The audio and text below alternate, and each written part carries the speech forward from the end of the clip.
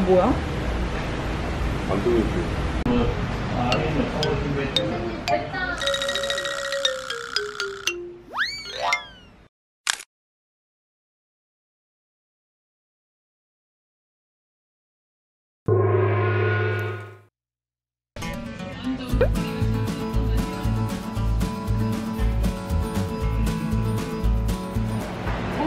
남편 네, 좋아하니까 한 번 더.